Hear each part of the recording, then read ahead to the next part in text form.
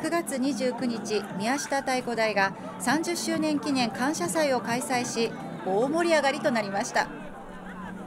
宮下太鼓台は中央地区に太鼓台がないとのことで当時の PTA を主体に太鼓台の運行を始め中央小学校の PTA や子ども会宮下自治会らを中心に太鼓台の奉納を実施しました。初めは中太鼓台として運行していましたが2018年に五部所太鼓台より購入して現在の太鼓台となりました。今回は30周年ということで焼きそばや唐揚げフランクフルトやフライドポテトなど出店や輪投げや射的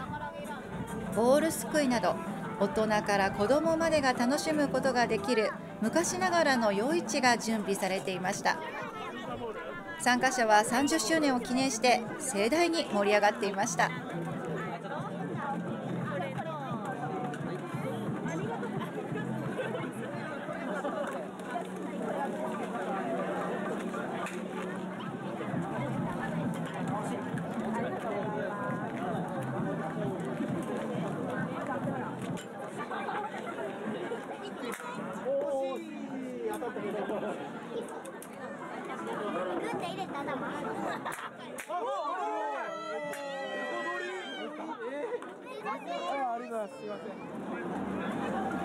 また子どもたちが太鼓台に触れ合うため太鼓台の中に入り太鼓を叩く体験をしたり参加者で太鼓台の差し上げがあり最後まで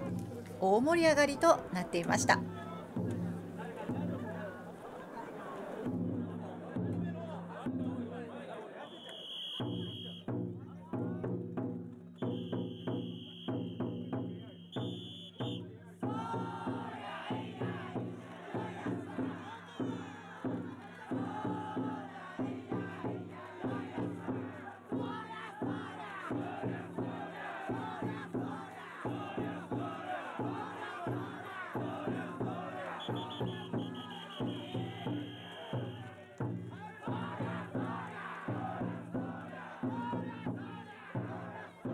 に今お越しくださった、えー皆さんのおかげ、まあ、それとともない、まあ、皆さんのおかげでやっとここまで30周年来れたと思い思います。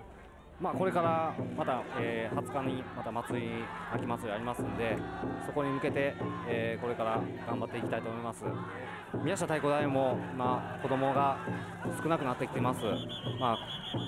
えー子供のためにも宮下太鼓台頑張っていきますんでぜひとも、えー宮下太鼓台よろしくお願いします。宮下太鼓台は10月18日から20日の3日間にわたり秋祭りとして太鼓台の運行を行う予定になっています。